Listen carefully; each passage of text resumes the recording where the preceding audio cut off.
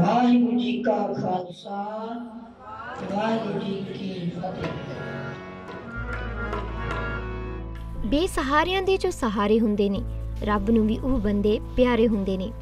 ਇਹ ਤੁਕ ਟੁਕਵੀਂ ਬੈਠਦੀ ਹੈ ਬਰਨਾਲਾ ਦੇ ਪਿੰਡ ਨਾਰਾਇਣਗੜ੍ਹ ਸੋਹੀਆਂ ਦੇ ਨੇਤਰਹੀਨ ਆਸ਼ਰਮ ਦੇ ਮੁੱਖ ਸੇਵਾਦਾਰ ਬਾਬਾ ਸੂਬਾ ਸਿੰਘ ਉੱਤੇ। ਜੋ ਖੁਦ ਨੇਤਰਹੀਨ ਹੋਣ ਦੇ ਬਾਵਜੂਦ ਬੇਸਹਾਰਾ ਬੱਚਿਆਂ ਦੀ ਉਮੀਦ ਬਣੇ ਹੋਏ ਨੇ। ਇਸ ਆਸ਼ਰਮ ਨੂੰ ਇੱਕ ਪੈਸੇ ਭਰ ਦੀ ਕਮਾਈ ਨਹੀਂ ਹੈ। ਦਾਨੀ ਸੱਜਣਾ ਅਤੇ ਪ੍ਰਵਾਸੀ ਪੰਜਾਬੀਆਂ ਦੇ ਦਾਨ ਨਾਲ ਚੱਲ ਰਹੇ ਇਸ ਆਸ਼ਰਮ ਵਿੱਚ ਨੇਤਰਹੀਨ ਦਿਮਾਗੀ ਤੌਰ ਉਤੇ ਸਧਾਰਨ, ਅਪਾਹਜ ਅਤੇ ਅਨਾਥ ਬੱਚਿਆਂ ਦਾ ਭਵਿੱਖ ਰੋਸ਼ਨ ਕੀਤਾ ਜਾ ਰਿਹਾ ਹੈ। ਕਰੀਬ 20 ਸਾਲ ਪਹਿਲਾਂ ਇੱਕ ਉਜਾੜ ਜਗ੍ਹਾ ਉੱਤੇ ਬਾਬਾ ਸੂਬਾ ਸਿੰਘ ਨੇ ਆਸ਼ਰਮ ਦੀ ਸ਼ੁਰੂਆਤ ਕੀਤੀ। ਜਿਸ ਵਿੱਚ ਅੱਜ 50 ਦੇ ਕਰੀਬ ਬੱਚਿਆਂ ਦਾ ਭਵਿੱਖ ਸਵਾਰਿਆ ਜਾ ਰਿਹਾ ਹੈ।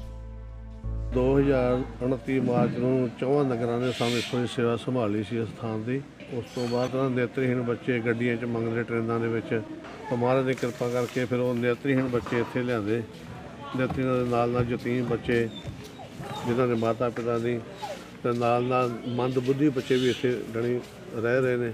ਤੇ 40 ਕਰੀਬ ਤੱਕ 40 ਬੱਚੇ ਨੇ ਇਸ ਸਥਾਨ ਤੇ ਇਸ ਟਾਈਮ ਰਹਿ ਰਹੇ ਨੇ। ਤੇ ਜਿਵੇਂ ਜਿਵੇਂ ਪ੍ਰਸ਼ਾਸਨ ਵਾਲੇ ਕਈ ਉਹਨਾਂ ਨੂੰ ਜਦੋਂ ਪਤਾ ਲੱਗਦਾ, ਉਹ ਵੀ ਬੱਚੇ ਕੋਈ ਛੱਡ ਜਾਂਦੇ ਨੇ ਜਾਂ ਕੋਈ ਗਾਂ ਦੀ ਗਾਂ ਸਾਨੂੰ ਕੋਈ ਫੋਨ ਕਰਕੇ ਦੱਸ ਦਿੰਦੇ ਵੀ ਇਸ ਜਗ੍ਹਾ ਇਹ ਬੱਚਾ ਵਾ ਵੀ ਇਹ ਬਹੁਤ ਵਿਚਾਰਾ ਜਿਹੜੇ ਗਰੀਬ ਹੈ ਜਾਂ ਯਤੀਮ ਹੈ, ਮਾਤਾ ਪਿਤਾ ਹੈ ਨਹੀਂ ਇਹਦੇ। ਉਸ ਹਿਸਾਬ ਫਿਰ ਸਾਨੂੰ ਜਾ ਕੇ ਲੈ ਕੇ ਆਉਣਾ ਪੈਂਦਾ ਜੀ। ਸਮਾਜ ਸੇਵੀ ਸੰਸਥਾ ਵੱਲੋਂ ਦਾਨ ਦਿੱਤੇ ਪੈਸਿਆਂ ਦੀ ਦੁਰਵਰਤੋਂ ਦੀਆਂ ਖਬਰਾਂ ਆਮ ਵੇਖਣ ਨੂੰ ਮਿਲ ਜਾਂਦੀਆਂ ਹਨ। ਅਜਿਹੇ 'ਚ ਇਸ ਨੇਤਰਹੀਨ ਆਸ਼ਰਮ ਦਾ ਬੱਚਿਆਂ ਲਈ ਕੀਤਾ ਜਾ ਰਿਹਾ ਮੁਫਤ ਉਪਰਾਲਾ ਸ਼ਲਾਘਾਯੋਗ ਹੈ। ਇੱਥੇ ਨੇਤਰਹੀਣ ਬੱਚਿਆਂ ਵਾਸਤੇ ਟੀਚਰ ਰੱਖੇ ਆ, ਬ੍ਰੇਲ ਲਿਪੀ, ਬ੍ਰੇਲ ਦੀ ਪੜ੍ਹਾਈ ਕਰਦੇ ਨਾਲ ਨਾਲ ਬੱਚੇ ਕੰਪਿਊਟਰ ਸਿੱਖ ਰਹੇ ਨੇ ਤੇ ਜਿਹੜੇ ਦੂਜੇ ਬੱਚੇ ਨੇ ਉਹ ਦਵਾਨੇ ਅਤੇ ਨਾਰਾਇਣਗੜ੍ਹ ਸੋਹੀਆਂ ਸੋਹੀਆਂ ਇਹਨਾਂ ਸਕੂਲਾਂ ਦੇ ਵਿੱਚ ਬੱਚੇ ਦਾਖਲ ਕਰਾਏ ਨੇ, ਉਹ ਪੜ੍ਹਾਈ ਕਰ ਰਹੇ ਆ ਆਪਣੀ ਅਤੇ ਨਾਲ ਨਾਲ ਕੀਰਤਨ ਦੀ ਵਿਦਿਆ, ਪਾਠ ਦੀ ਲੜੀਵਾਰ ਸੰਥਿਆ ਬੱਚੇ ਕਰ ਰਹੇ ਨੇ।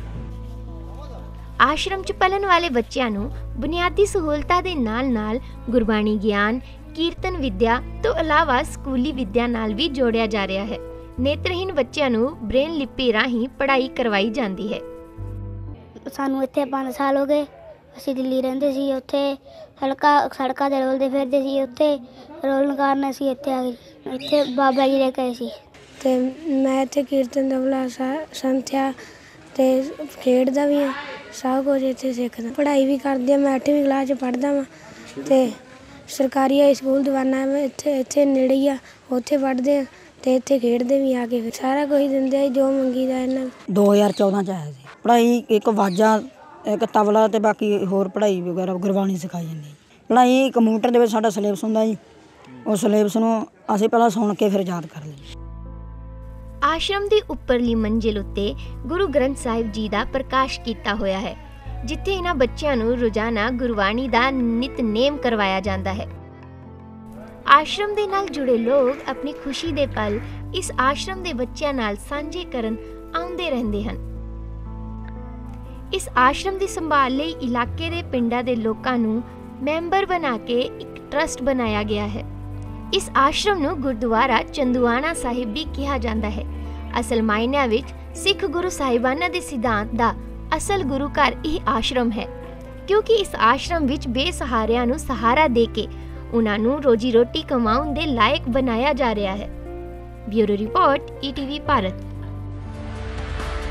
To watch 24 into 7 News Live, download ETV Bharat app.